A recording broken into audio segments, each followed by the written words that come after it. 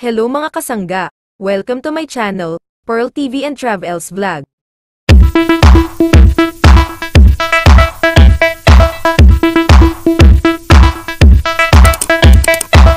Our Queen Bea Alonzo, spend Christmas Eve with her family at Beati Firma, daming foods, kasama niya ang kanyang mga babies na sina Walter at Chico, and of course andin din ang kanyang beloved hun na si Dominic Roque. Narito at makisaya tayo sa kanilang Christmas Eve moment.